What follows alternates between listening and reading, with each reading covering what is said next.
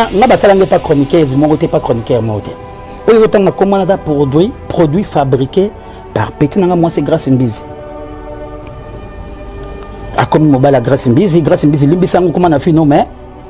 bakali alinga ayeba kaka ya lipasse lipasse eza histoire babomba yango te ocomprendre mm. babolingo na bango mpo na nini basaka bemission facilement momi akotelaka ye akesala guerre na ex master bon ex master mpe amonaki kaka komi ezalaki koni ebota botya na bafacebook ya likambo ya secrete naza te grâce kota kolinga bopeza mamba solo fo torekonetaka moto me na vie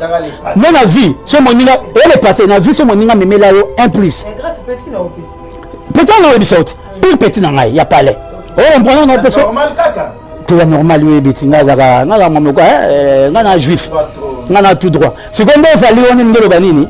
bakomi mwasi na mobali grace mitasala ye oyo ebimaka ke yasala emission ya gagnant l'autre est là mpo na peti naso grace mbisi parce que bato bayeba yango te ex master afingaka grace mbisi na kanda e afingi grace gaobi ka e na basi te na kanda ntango grace mbisi ekosala emission ayambi mwana otangi nkombo domoni bataka ex masa na apui ya chroniqueuse do tricage ekotaka mwa trop oyo azwi veste ya disquare da bapoile eza vexas asalaka bor wana ya molai ezalaka 18 000 euro ye azwi ya mokuse nao précise bien balongoli gripe ya disquare babambi ya vexas so eza lokuta azwa kaka bor wana atya foto na facebook mo ba ex master ocomprendre na bande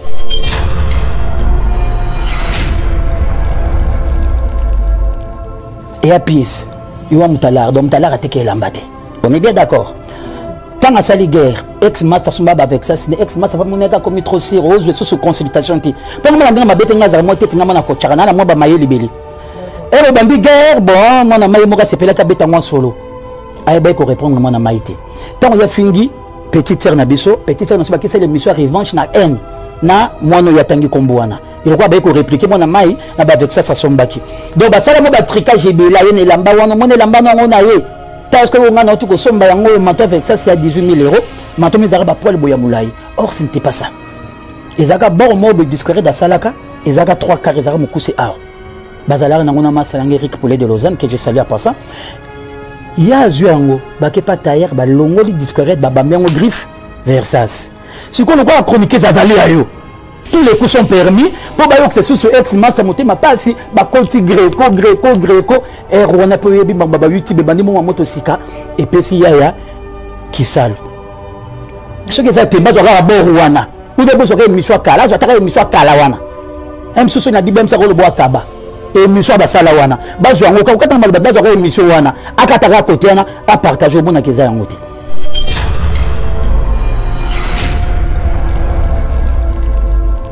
eya piese yo wa mutalare donc mutalare ateki elamba te on est bien d'accord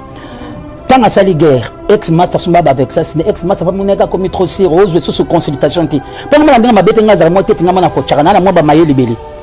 ero bambi guerre bon mwana maye moko asepelaki abeta mwa solo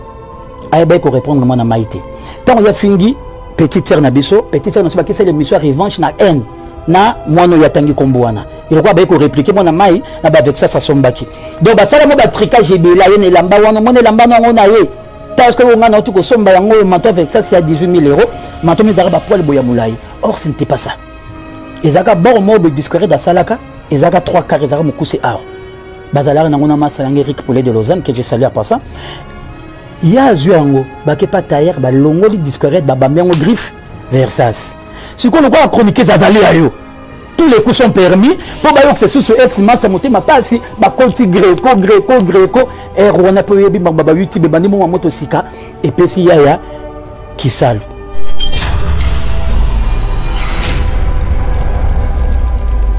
sikoyebisanga mo pièce ya boye moto alobaka banda palme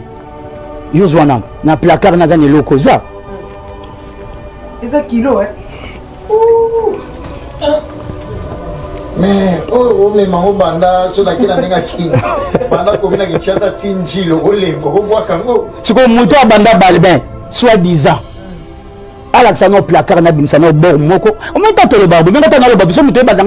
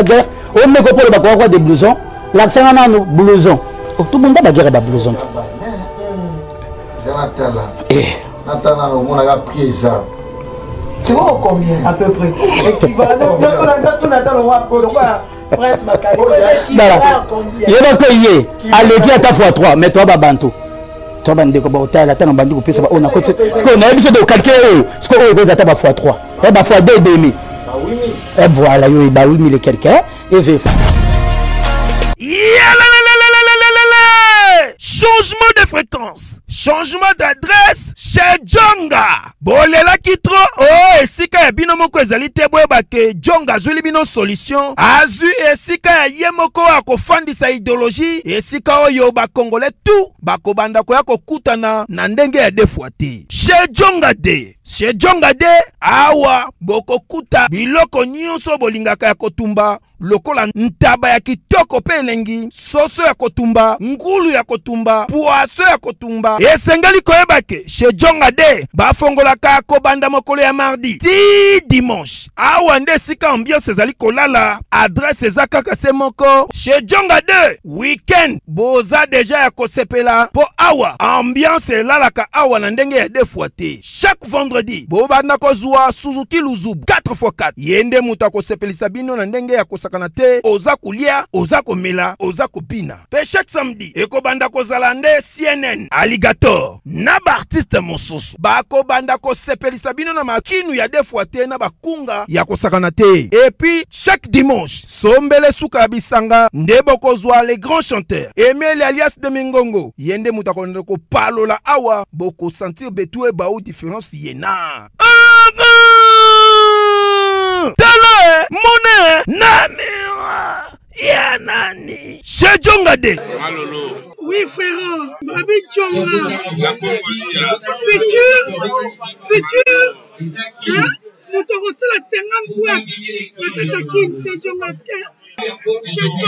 soki olingi osala bareservation obengi na banimero oyo mpe bakoservir yo joli kitoko chez jonga de yango nde moboko ya ambiance na kati ya paris se naturel oh. soin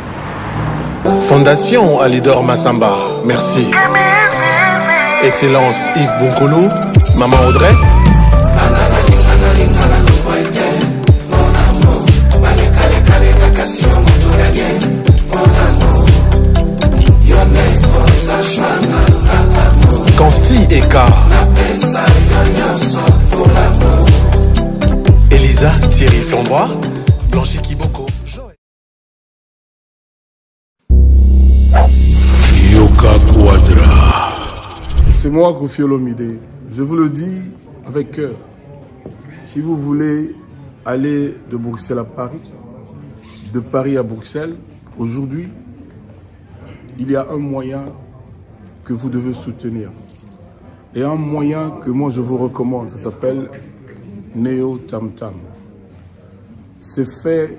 de main de maître par un Congolais digne de ce nom. Moi j'ai fait l'expérience et je peux vous dire que l'expérience a été concluante. Donc désormais et dorénavant, pour vos déplacements, si vous voulez faire venir quelqu'un de Paris à Bruxelles, Néo Tam Tam. Déjà, c'est notre devoir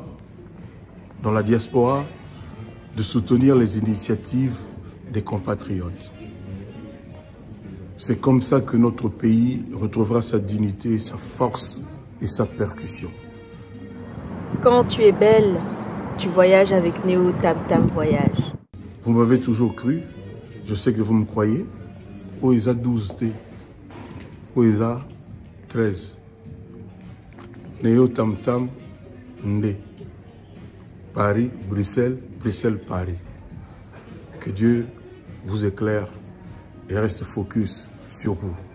Double King, le maître de double demeure. Bossiamoka Moka. jacques pemba belade guy noel ngoya karisma elote karisma boutique aloa natali bumba Voilà, bonsoir à tout le monde, bonjour, euh, bonsoir, j'espère que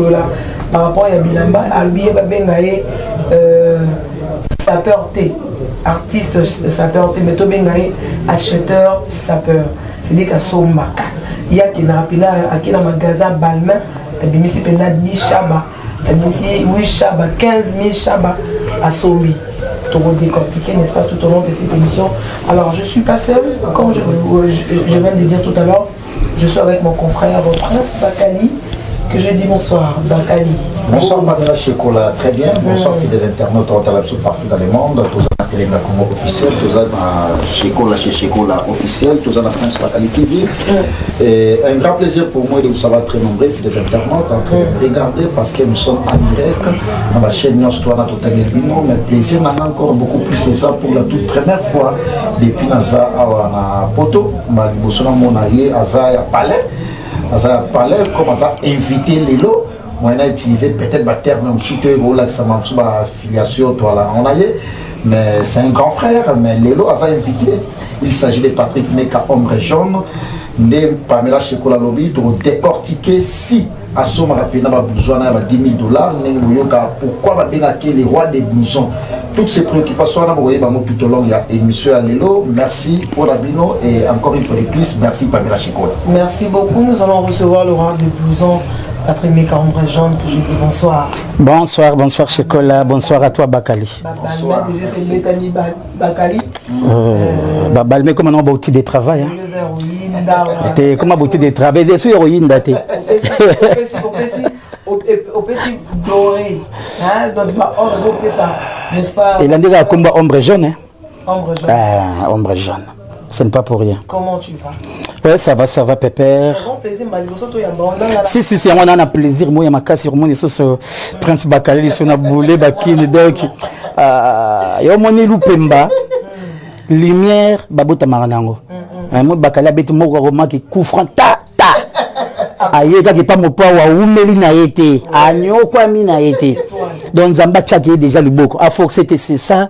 qu'on appelle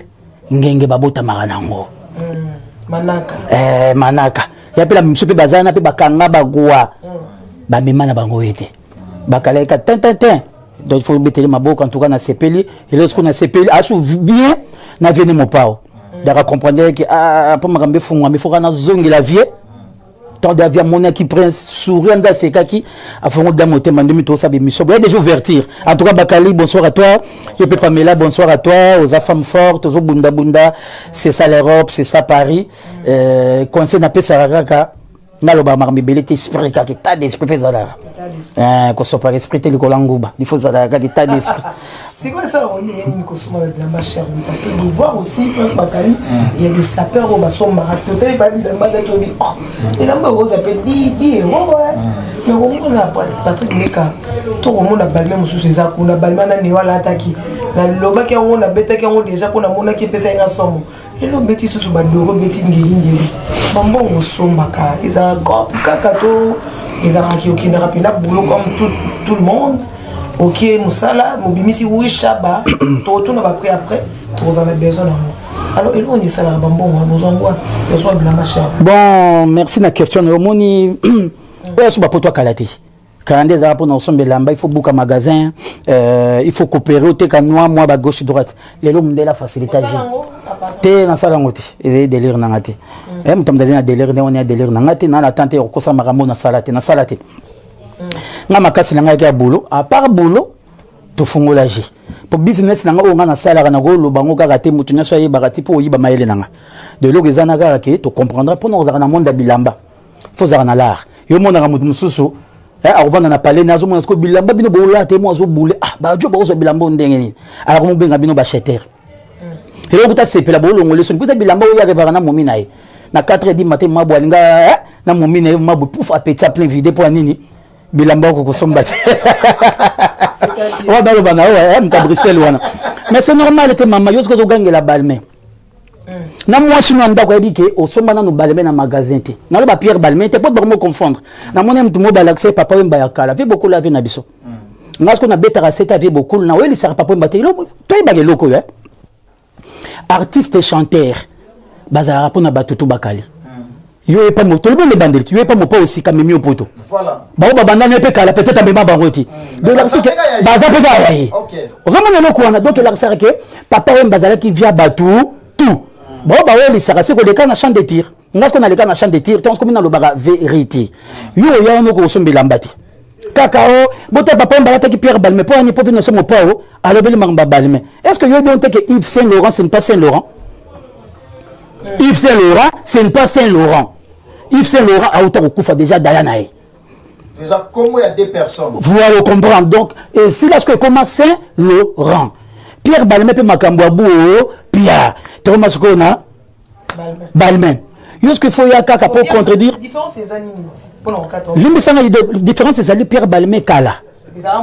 te moins cher te ezalaki kaka griffe na gauche je baprix na ye te mpo elamba yango kaka te prix te fo baza kopona kudei tisi makambo ebelebele lelo na ngai na différence kaka pierre balmain c'était pierre balmain sikoyo toa na periode ya balmain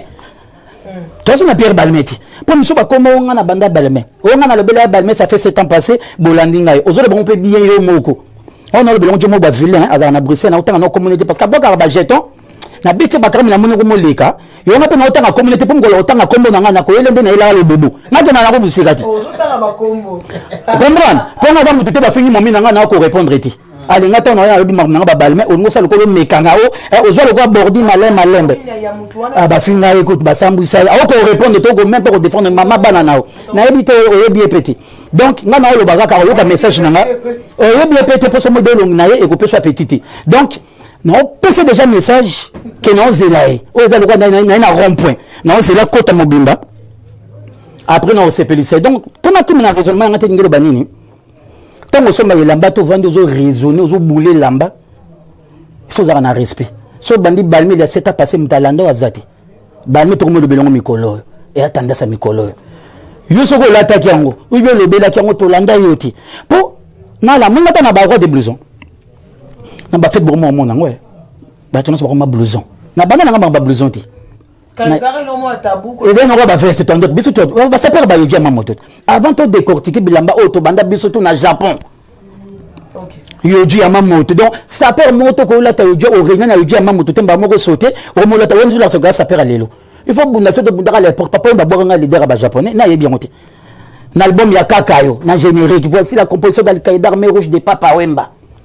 Patrick Meka, on a yoji na yoji na ndambo ya ya comme des garçons. Tena mona comme des garçons qui moi trop moins cher na baele. Pour moi surtout éviter bilambo tout anaka tout anaka tout anaka. Heureusement que le peuple balata est subi lamba ngote, yo même balata comme des garçons comme moi à l'aise. Pour se pelser sous batu tete ara lamba mo bref, tout ça on a été. Donc nengana loba. Balmain neye masolo ya balme moto ya liboso asali émission naoloba bien moto ya liboso alati yango te moto ya liboso asali émission azokota magasin na peti na nga mige nyema ke je sali ya passant taba na saki te tokati blouson tobimi tokeye ekoma mpe bomesano mona motu mona nsima bonga na banda balme onga na banda balasiaka yo oza na pièce ya balme so oza na pièce ya balme natikeli oka journée moko mpo ezalaka na chambre ozo na placard ntongo olanda émission na ngai lobi publie babalme oyo eleki na oyo nakino okena oyo aneyo mpo wana nde wana obelisi motu na bani tana oyo kutu eza nango sembe oyo mpo nayebi eya nango blouson nango normal eh? eya nango normal eya parmi bapièce namoni ye nango garçon moko na paris nano nga moko pour le moment mpo balobala toujours pour le moment mpo oyebi te na paris pour le moment nano nga moko na bruxelles namonaki ye ya mobe na fete nabosani nkombo na ye monde mpe motu na nga aodelire nango donc pour l'instant ayi donc ye so aza na pièce amoni eleki oyo ebe eleki baoyo ezozela wana aya bimisi na facture eh, esika asomba yango mpo nga soki apesini kaka nkombo na nga na ligal nasala émission nyonso nakosepela mpe bakali limbisa nga fo botyela nga nde na opeye babalme wana otyete mwa wana ezangaka te comprendre eh? donc mwa respect ezalaka aza saper te aza bato oyo bafingaka bato na bamomi na bango jo wana toro jo wana ngombe mais momi avandi na oye moko azoyeba na sa motema mobali na nga ndimaka so bato baleki yo aya baleki yo to s'éterniser wana te entrée de jeu nalingaki avanda kota bakestion na ngai euh, par rapport ya griffe mm. saint laura tomona ekomama ya y euh, Yves SL. Voilà. Mais au big non Yves wana et le moins comme à Saint Laurent. tomekaki nalingaki ye mpe omeka koexplicite yango parce que omoni fanatique aotala biso fides internet aotala biso mm. balinga mwa baprécision ya bagriffe mm, mm, eza bakoma mosusu tellement ekota biso trop etikala bongo mais changement esalama na yango est ce que ozoconfirme ke yves saint laura elongwa yves etikalaka saint laura merci bakali boye nde qu'on apprend en tout cas nasepeli na question na yo mpo naloba yango bachroniqueur balekisaka yango mais yo vraiment okoti mozindo c'est bien yves saint laurent ezalaka griffe yves saint laurent yves saint laurent daya mm. comprendre mm. sikoyo bato bareprendra masolo balongola yves etikala saint laurent mm. nana bablouson ah, naa na blouson anniversaire alefant nanga 2014 ezali nalata blouson ya saint laurent naolobango mpe na micro ke oyo eza yves saint laurent te eh, vraiment saint laurent oh. mais bakongole bamona ondire baomona ti oh. mais baomona sikoyo oyebisanga sikoyo nabeta bagriffe to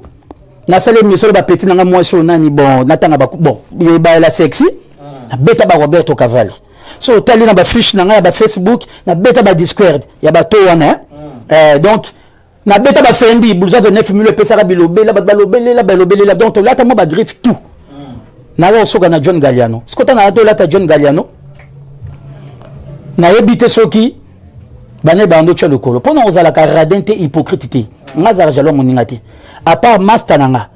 fils edungu ando obeta mpe bajohn galiano ozolanda ngai apart fils edungu nayebi te nani yango ando osomba bajohn galiano alanti bapiese oyo ando elibeta koleka nga mpo tala bapie tolata yango soki te me bafoto ezali bilamba ezali motelema boye mm, mm, mm. ezalaka te lelo baolata blouso ya chris brown blouso mwa badisquard boye eza mwa bacouleur liboso batya mwa cercle boye ngam napesa yango nkombo blouso ya chris brown parce que chris brown alata yango na états-unis na biloko eh, na bo bakenda wana kaka to namoni yango boye ngai mpe nalongolaki yango kaka ndenge coïncidence ngai kolanda star américain te mpo asomba eloko ngai nalanda ye eza bacoïncidence na paye blouson oyo oh masta mwa amoni yango abenga o oh, me ya biloko paye star mwa américain alati yango ake nango na basoirée na bango bani oyo oh, tokoloba boye atindeli ngai image oaneyo oh, ah. ocomprendre eh, wana ba pièce unique omona yango epa motu te na olakisa mpe tout à l'heure omona yango epai ya motu koyo obanda balme pièce ya makasi oyo osomba na balme okotoma na balme osombi blouse eza wapi Patrick Meka, merci pour la présence. Mm. Ouais, on a tout ma sous question par rapport à expertise aux yeux étant naoki ao meke un peu rectifier aux artistes sapeurs kagate aux acheteurs acheteurs sapeurs ouais par rapport à aux acheteurs sapeurs ça fait au moins combien de temps déjà depuis osomba kolataka parce que soki ozalaka saper artiste saper te osombaka olataka toza motu te kaka ofandaka boye ono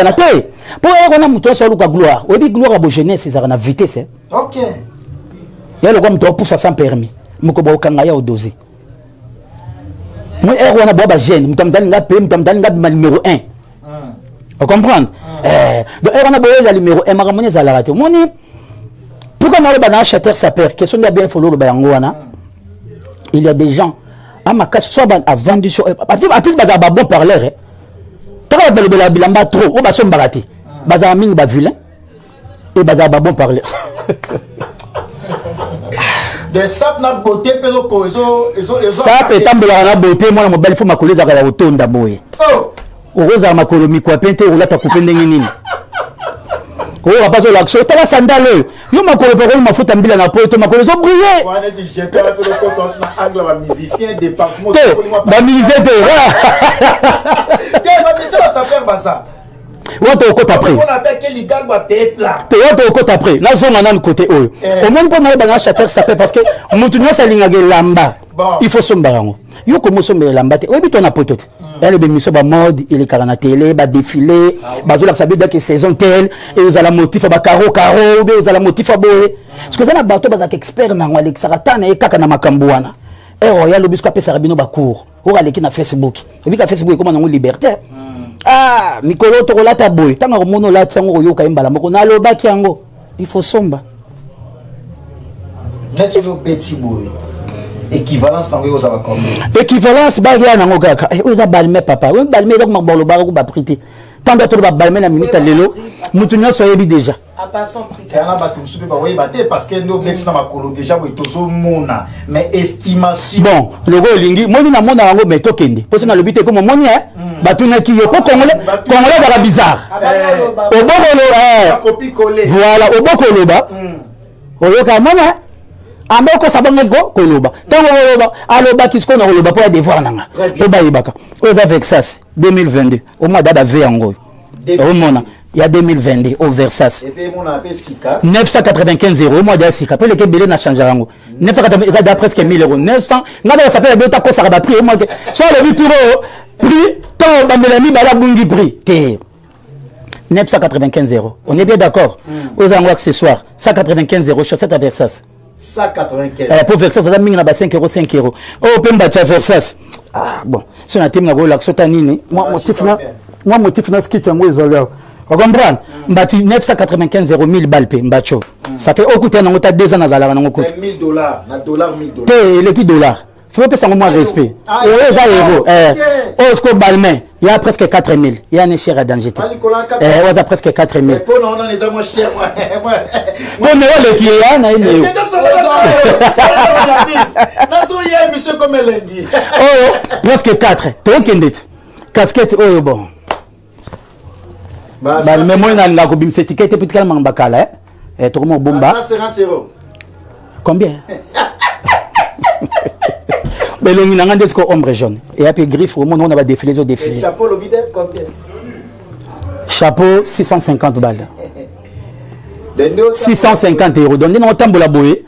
euh, naza na lopango ewe eh namonaki yango mpe fali kobalataki yango ondire eza top chapeau wana alataki chapeau oyo bopotana bien na bino comprendre mpo to continue lisolo bien zelaka te wana nyonso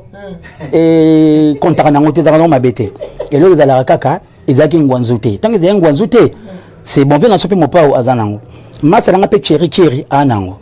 omaki na otanga bakombo na koniye nga azalaka na bongo te so oza na gloire gloire eya J'ai une question à vous poser. Mm. En passant, pourquoi bah, aux armes, bah, guerre, bah, sapeur Ils ont que ressources, mais nous, on a n'engagé. Ils ont n'engagé. C'est eux, on comme un n'engagé, comme ça, on va paf. ekomi guerre fusion moko boye osombaki te odefaki ozwaki te mm, mm, okokaki mm, te c'est dû à quoi en fait guerre bozala nango bon merci na question na yo mpo na répondre yo napesa na bamasta mbote mpo na mwa lisolo eko moyo elengi ah. na oyo ozape bato bamasa yango équipe de france omoni bamaso babunda babagarre donc omona lelo toza kaka na actualité balobaka se papa oyo bakufi tovide mais somi toyoka na bamasa ya mikolo tosa émission te totala bato oyoka mpe youtube elali désolé asika yake tozalaka na clé wana donc chance lokola biso toleka na bachamp de tire te gloire ya nanu donc napesi bamasta na ngai cyril kina fumuki mbangu moskino mpe banda nango kala boyeba yango mais cyril aye atutela moskino sete azopeye bapiece limbisanga nano eza nango makambo bakoloba zala nasisa na bambote na ngai mpo oloba no makambo koloba comprendre na oyo balingala oyo bien moskine ebanda nango kala moto ando ata mosusu to ando olata nso yango soti seril azwi bayebaka motu bongo azwi moskino na ye abandi kolobelela yango abandi kobeta yango basi mpe bongo olata moskino mibai mpe bongo olata moskino moskino mpe komi na polémique wana na bandango liboso ozo comprendre donc elakisi deya ke idéologie ya serili kitoko ocomprendre bato tofingaka yoji so biso totika bayoji mpo tofingaka yoji hmm. tolobaka baverité a ah, bilamba minene a ah, te naoda so yoji te trésor ngando alobi ngai ata bolobi minene eh? ya makaka aniki aniki eyoji ezongi na polémique bato bakomi koatake ngando ayaki eh, nganda yoji ezongi tio moni bayaya bazongela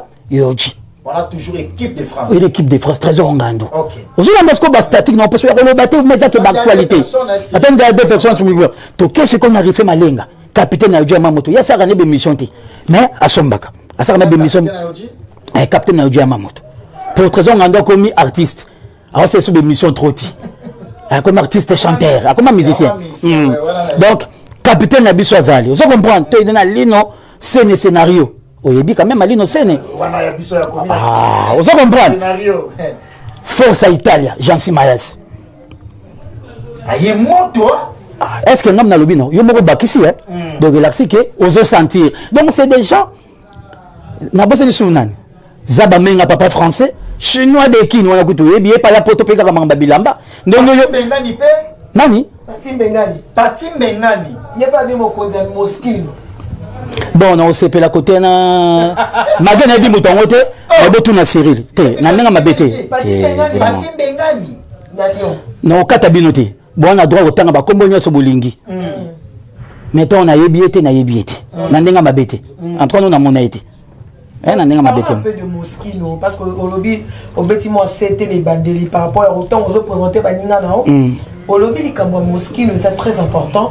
eza kaka liboso nayamba basapeur te naza na sapeur moko kaka na lyon bati mbengani je crois que tosalaki na émission moko dernièrement malheureusement ekotaki te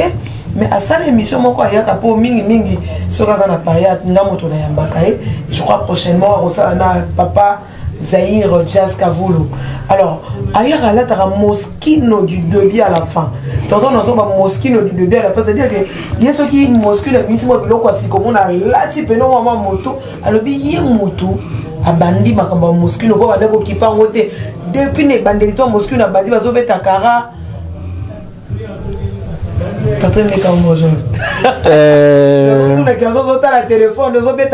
moni babila mani na ndolo bato ezaka bote moi bato bakoma kaka atela sa te okoza mpe moindo tye mpe coko ozanoka vilain zela nano nao répondre question nao donc question ningi eloba nini eric poulet de lausanne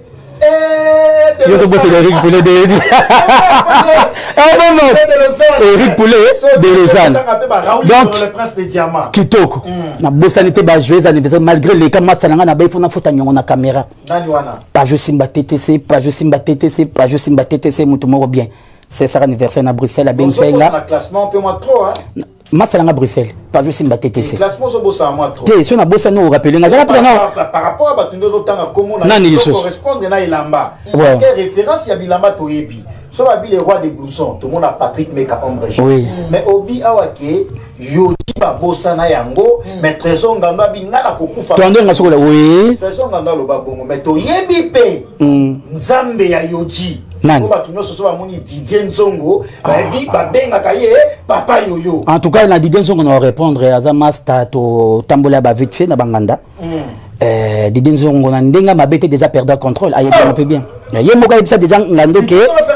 ye moko wana ba polémique te ayebi yango mpe bien ye moko déjà ebisa ngando ke yaya makambo oyo déjà totika yango tokokenda yango ti wapi eko etali mpe elateli ya dide nzongo na ndenge mabe te dide nzongo akoma kosomba kaka chemise na pantalon sapeur ebunda na chemise te na ofingi te wana mati nazosopi motu na nga nakodimi eza makambo moni mabe na biso ya nini te moins cher yoka yamingaka boye te omoni congolais babengaka bato ba hypocrite nzoka bango moko ba vrai hypocrite elingi aloba nini hmm. yo moko olobaka makambo ya bilambo olingi yango sute ya bayo jango mpe ti wapi yo moko ozoloba yango mais mpo baoyo oloba ke aperda vitesse na yoji oyo bakretiaki nga ozomona mabe na biso or yo moko olobaka na yo nga nalobi yango je match pas memo dede nzongo ye moko osoka mpe na ngando mona koza makambo yango tia mpe abayela soki otali mpe napesi yo kaka kotata na batiktok na mini omona kaka dede nzongo ezalaka kaka chemise pantalon abandi kosote eh? sikoyo ntango biso tolobelaka mode elamba eh, mwa sap na mwa bakombo mm. togangelaka chemise te mm. po chemise oke okay. na bruxelles bakosilisa mpo basi nyonso ya bruxelles balataka bachemise ya bavexation na bodele tuta 2000 euro moni na chemise eh, basi ya belgique ote mwana alongolaka bango comprendre sikoyo biso olataka bachemise te fozwa matos comprendre eh, fozwaka matos yo mona elenga bilamba yango wana mpe matos ezalaka te kasi badesine nde ekomi matos to mpe de matos omo bapierre oyo ekoti na balmo oyo bapierre oyo eza dessin te oyo bapierre soki mpe baya pierre nini nayebi te eh, des fois te on est là dans les bons mais pardon shekola tellement na moni limbisa nga mpona mwa bakesele beza ebele nasilisa mwa ba nasepeli mpo ratanga trop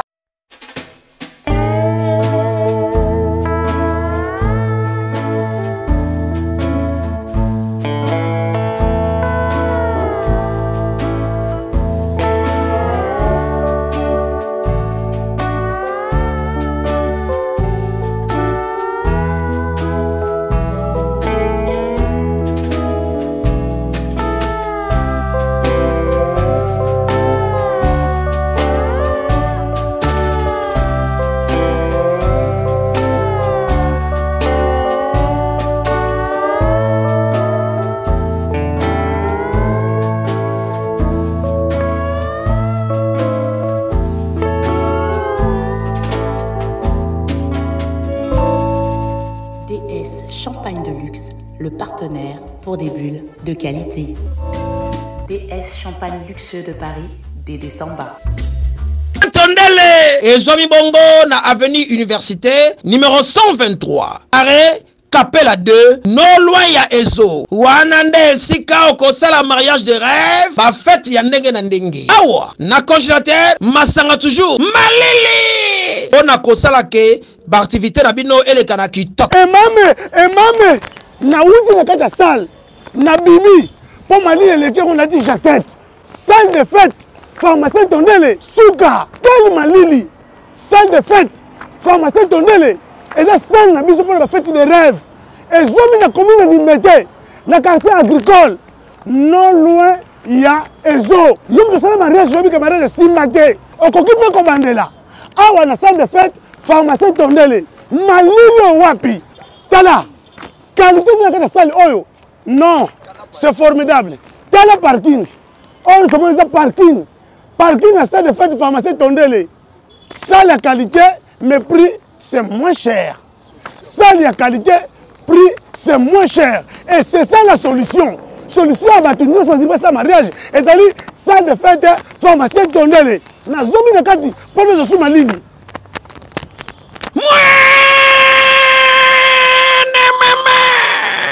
awa baservice nyonso ezali très efficace Yeba ke meme mpo na bafoto, image, video nionso ezali kaka awa tango ozobima na salle lobi na tongo oza na ba image na yo mobimba. Mokolo ya libala na ngai salle de fete pharmacien tondele ou rien oyo yango nde reference ya lelo mpo na ba kinois eyokani.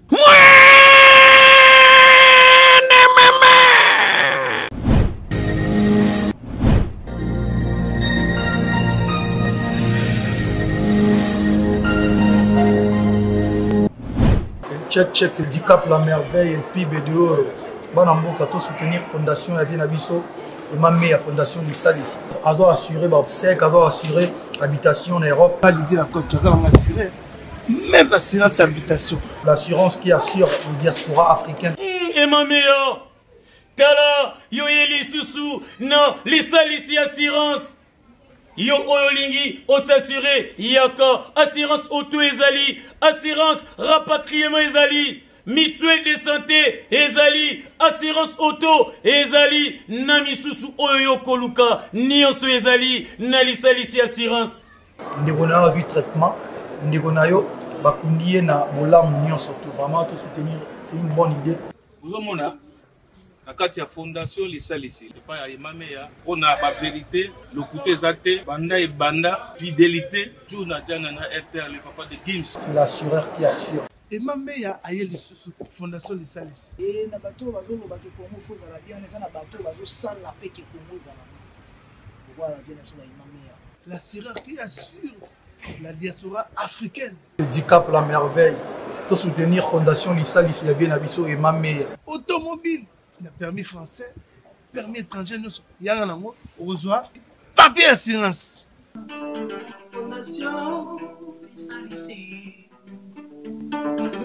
mpona bana ya kongo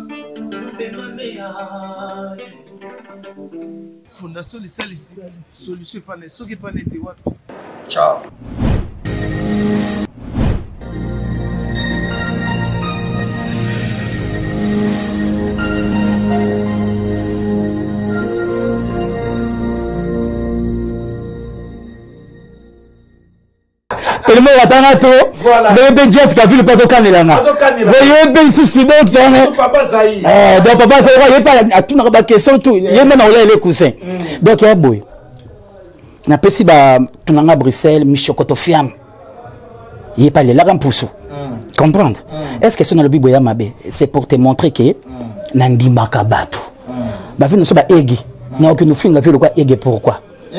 eh, nofinge mpona ba histoire oyo asala yango biso tokosala lelo so omoni nga na bude motu seke motu wana eh, adiembelaka bato asala baactualité te hmm. moi biso ka tokola yana bapeco mpe boya ah, na nomona ve mobe ombre jeune roi de blouson nobeta bablouson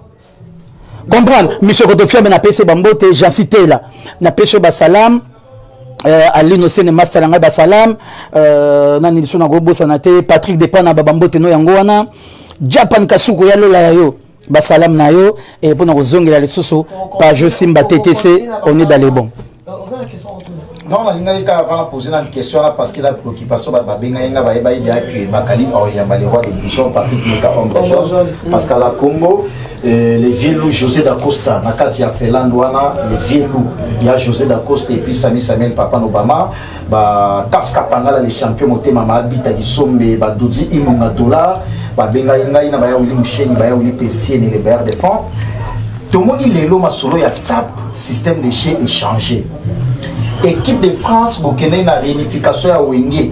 après 25 ans ya, ya séparation réunification na bango babetaki na stade de martyr tomonaki représentation ya équipe de france système de jeu ndenge elekelaki wana première question par rapport ya voyage wana oomekani mpe koexplicite biso yango mm. et puis deuxième question na nga pour ke napesa shekola mpe maloba mm. tomoni un grand sapeur de la décennie mpe mm. akim prince de lausanne auti okende kinshasa alobi bolobi mingi soki akoti ligala asombi bino mpe bolandaka ye mais apesi bino devoir ake kinshasa na journaliste nde bamusicien bamemaka bajournaliste bapoto ye mpe saper alongoli journaliste poto ake na ye kinshasa devoir na répondre ouais. en tout cas bakali na sepeli oyo nabe na oloba mpo bato mpe babengai nga babimeka tosepelaka nozapaka bato mm. e eh, mokimaka bakoma bato mais ezala mpe baexplikaka biso peut-être mpe na bato bandi kolanda baémission na nga sika hmm. bacomprendaka te la queue eh, na mutu bacomprendaka te donc lelo nakomeka koexplike mpo bacomprendre mpo na lelo vraimen mpo na yo koza mbala liboso ya mbanga nazo explike soki tokokota mozindo nabandi mpo na yo biso nanu na makambo ya wenge saper équipe de france azala ye wana te saper équipe de france mota akende ye wana baéquipe de france te baconnaissance bamasta baconnaissance na biso saper équipe de nazo bamba solo paka nazoseka asongisongi naloba te ozolukela nga bapolémique me naoloba saper équipe de france azala ye kuna te dolingi koloba nini Dieu m'a tant parlé. Migue Nyema tout nanga question mais na zapa kiango. Ah. Mais lelo na expliquer. Ah. Moi nga na vandi boy. Na lo bato ki ngandi pakala songolo. Nga na tena témoin. Ah. Ado oui. Na tangi no lite na tangi ngandi te na bi bien. Ado oui. Mutando sasa d'organisation d'organisation na benga nga. Samba di blogo boso na bosantation tedi message na portable oyo. Message nezali. aye kobenga nga c'était un vendredi kolanda ngai abi nayoki nasala edaliste me nayoki bato bainsiste yo na moto mosusu nakotanga nkombo te mwa alobaka verité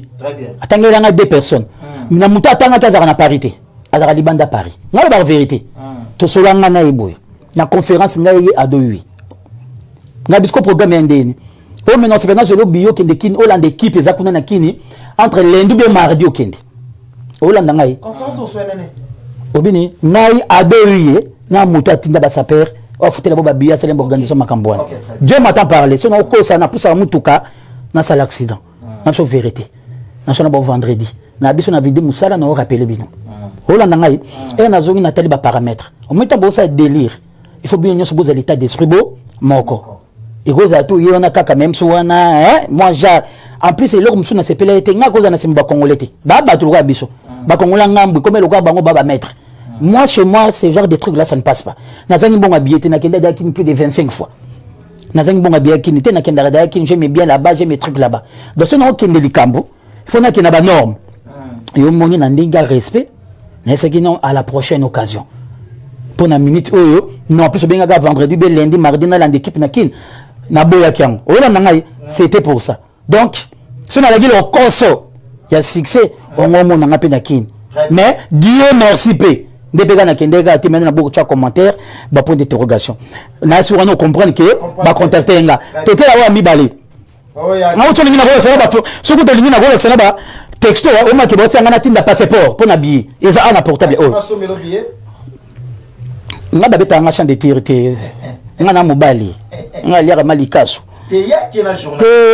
yobuka te hmm. ngai meka bon nabateli maloba tokei eh, ozolinga nakende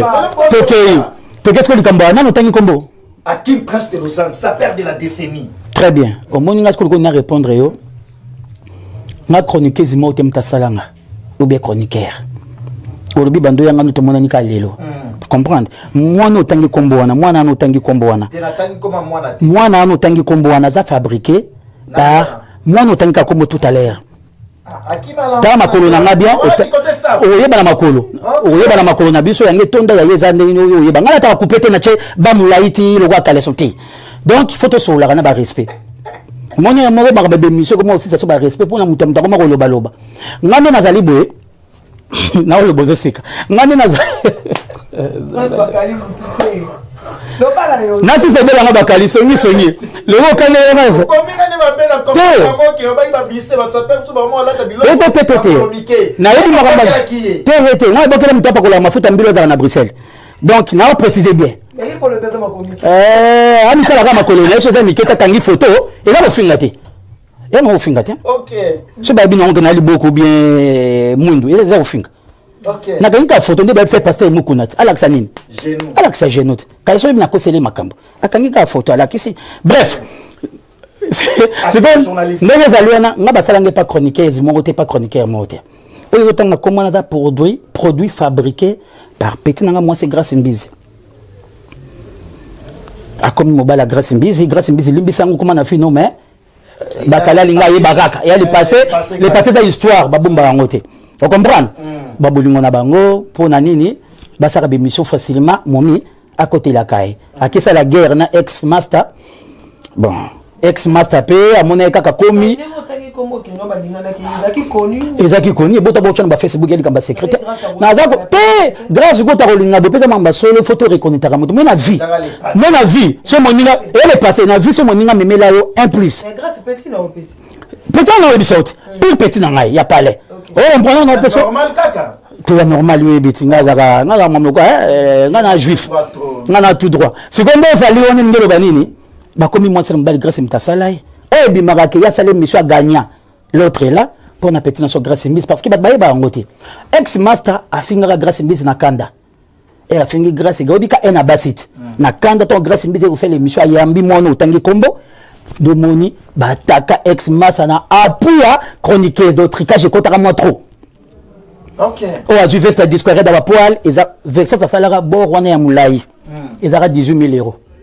ya ezwi ya mokuse na précise bien balongo de griffe ya discorette babambi ya vexation eza lokuta azwa kaka boro wana atya foto na facebook mo ba ex master ocomprendre te na bandela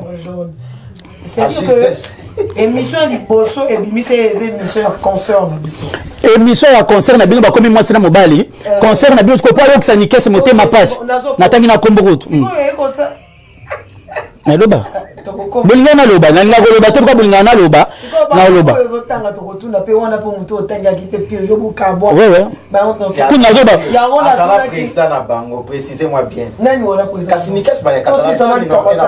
tosisa na repondre mabe eza te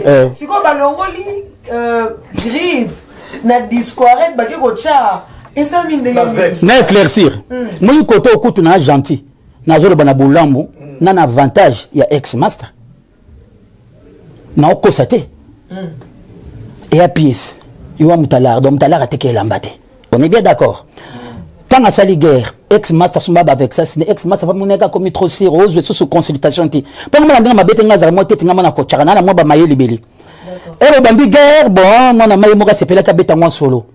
ayebaki korepondre mwana mai te ntango ya fingi petit sere na biso petit sere na biso bakisali émission ya revanche na haine na mwana oyo atangi nkombo wana elokola bayei koreplike mwana mai na bavexas asombaki donc basala mwa batricage ebele aye na elamba wana mwana elamba na yango na ye taske oyo ngai nauti kosomba yango oyo manto ya vexas ya 18 000 euro manto mi ezalaka bapoile boya molai or ce n'était pas ça ezalaka bor moko boye discorede asalaka ezalaka 3 car ezalaka mokuse awa bazalaka nango na masalange eric poulet de lausanne que je salue à passant ye azwi yango bakepa tayer balongoli discorette babambi yango griffe versas sikoyo lokola chroniqueuse azali ya yo tous les coups sont permis mpo bayokisa susu ex master motema mpasi bakoti greco greco greco er wana mpe oyebi mbamba ba youtube ebandi moma moto sika epesi yaya kisalu soki eza tembe azwa kaka bor wana ube bozwaka emission ya kala azwa ataka emission ya kala wana msusu na dibm saka olobo akaba emission ya basala wana bazwa yango kakokatanga maloba bazwaka emission wana akataka kote wana apartage omonaka eza yango te ngai na odefi yango ezala molai ye alakisa ya mokuse oyo ezala disquared edede tolongi na grace mbizi aye koma so na moto na ngai merci noli tambo ye mwana akeki na ndenge olobi na nga azoyokana te azoyokana te azoyokana te kowana kozanga devoir te billet 600 euro 7 euro même 1000 même 2000 ça c'est fait biya bata maroc e eh, biya bata maroc ekoma awa moni kolingo kekini e oyebisi nga biye na hotel oke mpo olali mpe na hotel du fleuve ou bien na rotana il faut ke na rotana nga devoir napesi mpe nabombeli yo te mpe nabombeli yo te na osalelo biye wana na maroc awa oh. hmm, nde bango soko bayokaka soni koloba yani nga misolo kwa lix asuki wana te abi aobeta mpe mama na pala atalitali wana ekomi wana siko azamoni bageto wana aza na retard wana na ndimi aobetela no siko chateau kote na mama na ndimi elakisika na retard na age na ye awa ta soni te papa mokolo boye na 2022 kasi kizengi te kana azoyebisa te ah, esalami ta na bokoloba eh? na oza problème na bato famille meneya na bo baproblème kasi kizengi te na 2022 obeta makambo ya ndako ndako yango mpe ezomonana te oke soki ozoluka terrain ya koluka eya biso totimbaka jala basireli kala wana deja azalaka wapi eh. C'est un homme. Euh, papa baloba na misiki esa mwasi ya makasi voiture makasi bilamba bino mpe kotambola de père na bango ti nazoyebisa yo biso na équipe de france hmm. tokomprendaka makambo oyo mwa kala eloko na eloko tobimisa yango moko moko te nakendaki na tour oyo hmm. na partage makambo nasalaka te bamwa baentreprise na ngai na ndenge na ngai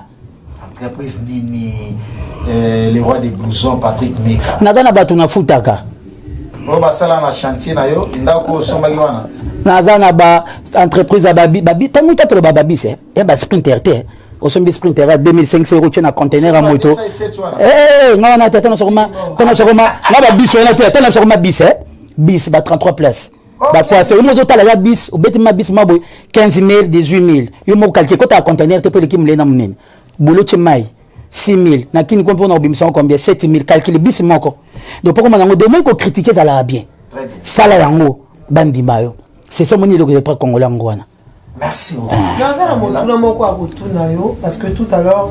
otangaki nkombo ya nikens bayaka mhm. tolingaki kotuna bankombo te parce que ntango biso toyoki masolo ya basapeur il en fait partie na batango bozalaki na alqaïda mhm. etant bopanzani bino bosali équipe de france mhm. bozala batrésor ngando basirin kina barifia malenga et tout et tout ba Jansi ah, Mayasi ba Jansi Mayasi Force Italia ba Lino Sene scénario euh, scénario tout ça Bossali ouais. équipe de France chinois de Paris alors Bossali combien d'abord ezalaki na nini pourquoi vous êtes séparés parce que tant tozomona euh,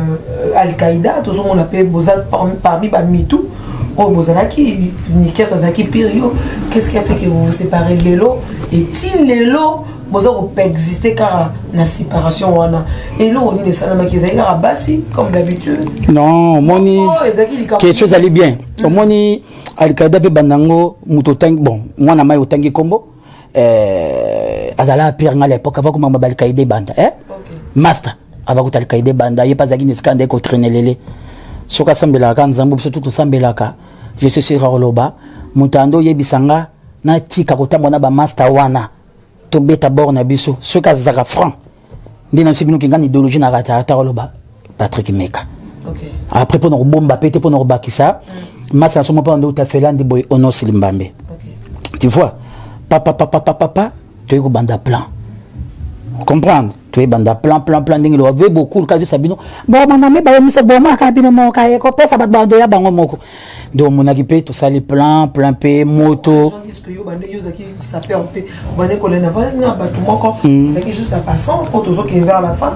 balobi patrick meka n'était pas un sapeur azalaki camarade ya nikens bayaka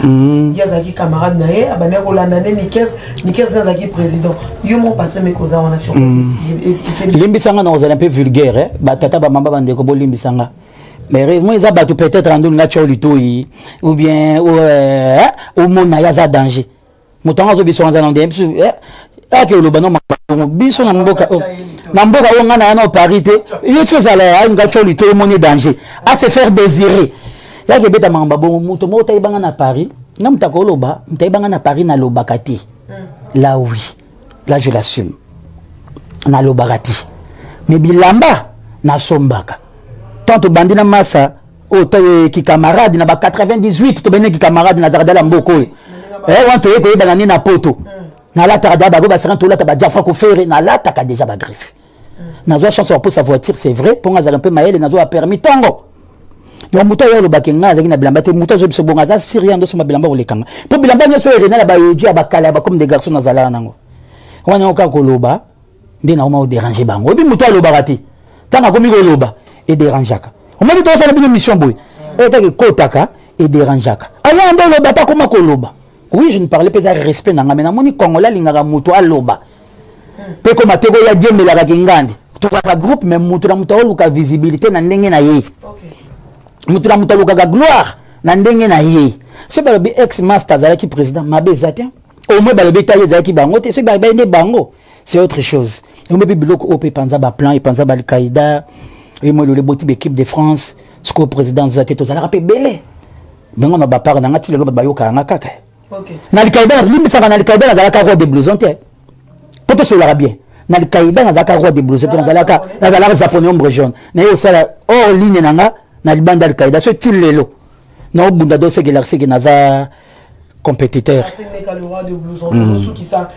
tomoni balme moko eza kuna tokozwa yango totala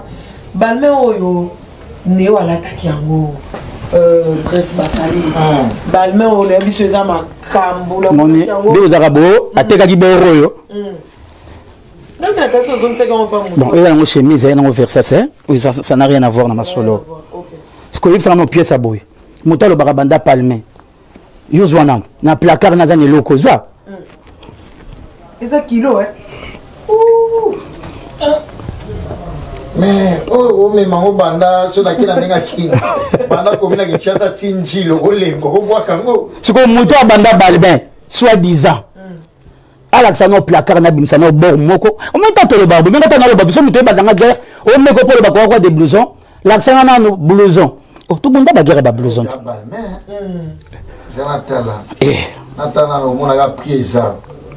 C'est bon combien à peu près Équivalent de Prince Makali.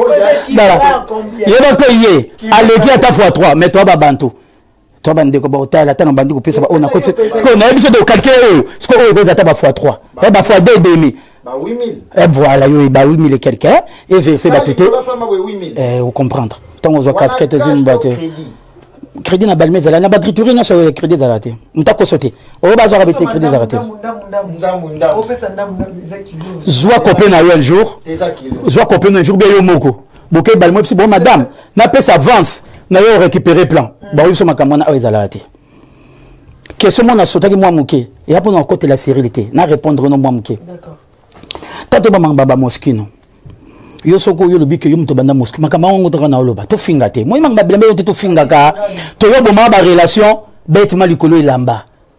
hein pour monde ba relation na ba age soki enemi ezala peut-être tiliwa de faut toyeba makambo tolobaka mpo na elamba tolekisaka baborne te moto abanda liboso na banda liboso na yo mabe eza nango te donc ninga aloba boye soki obanda eloko liboso ya moninga donc elakisi ke yo fo ozala na bapiese koleka motu wana soki eza ya lelo te ebe bapiese oyo elata ya kala il faut ozala ya baminduki vraiment koleka motu wana ozolanda ngai mais soki totye moskino oyo amoni naloba mama bato te mais oyo naloba je meme ame coupe soki oyo amoni aleki cyril na bamoskino wana en tout cas moto wana kodefia aleka ne pas n'importe quel chroniqueur abimisa bilamba nyonso c'est trop vulgaire azwa bamatos eh, babilamba ezalaka ma oyo ata 10 ezala kaka aya atandi ngai nakobenga cyril cyril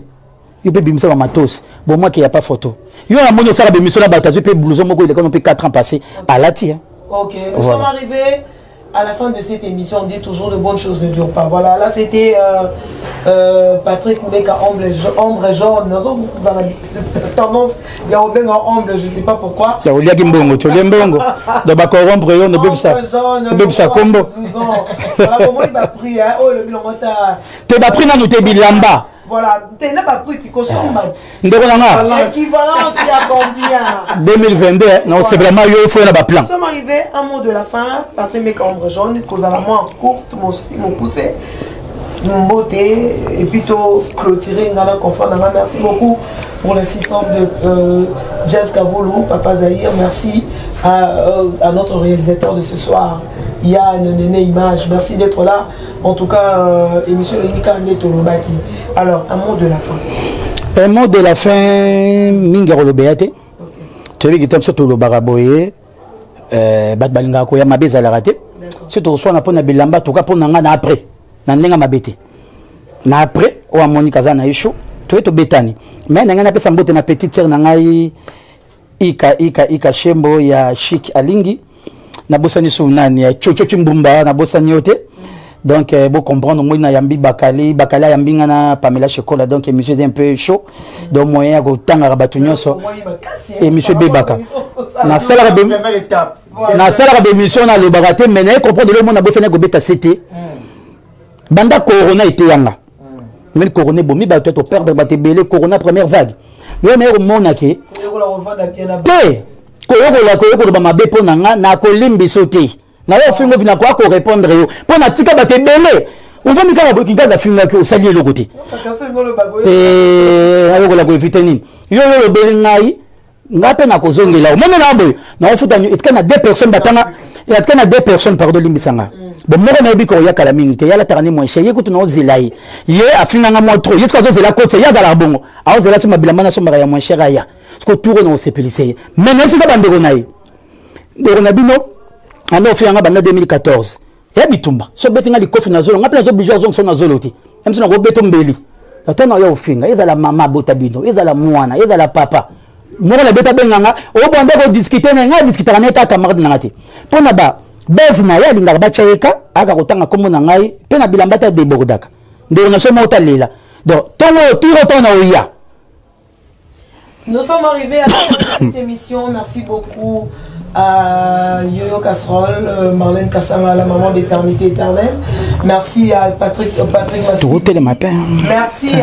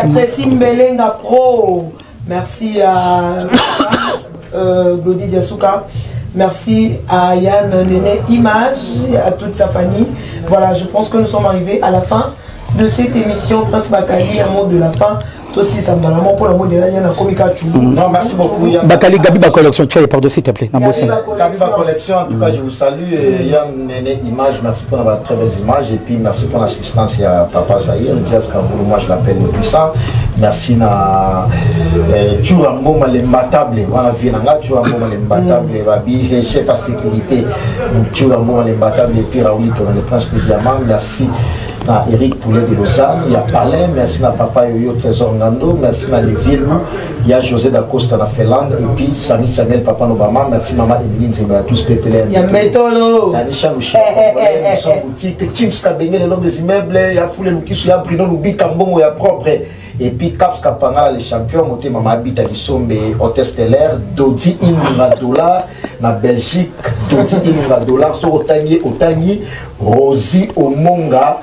la formidable moi c'est quoi un verbe facile et puis Junior Yongo ya Gisèle Zinda je vous salue, merci beaucoup. Merci Nayo mon papa, mais là chez la merci à invité la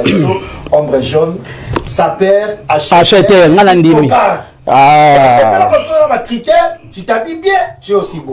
sikoyo soki oza acheter hmm. okoponaka elamba bien te acheteraka moto mbongo esali mokusa sikoyo nga na acheter naosomba elamba bie koleka moto amibengaka saper omabaka totonda yango te tokobandela yango tota mobimba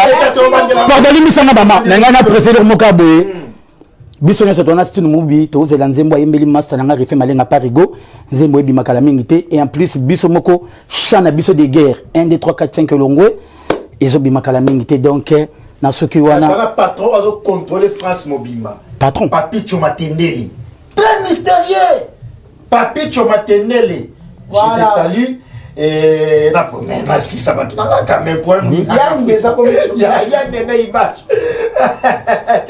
keneti biebe en tout cas merci à toi et puis merci na vie na biso babiso ke château rouge wana en tout cas kobosana te mbutalongi Mbuta Lomi na Château Rouge et puis ya Jamal Mukuna ya Jolie Menga. Vero Mangoy. Et Vero Mangoy parce que Lomi apena à la congolaise au lieu au temps de kolia ko mela agogo et non kuta na ba jazz ka fulu to lia ka to mela agogo et puis eh, ba junior yo mo père ya wana na ba Jean-Paul Welly de London na ya Gauthier Mascotte ingénieur de banque. Merci Pamela. Merci beaucoup, on se retrouve prochainement dans cette émission analyse. Bon, je vous fais de gros bisous. On se retrouve prochainement. Bye bye.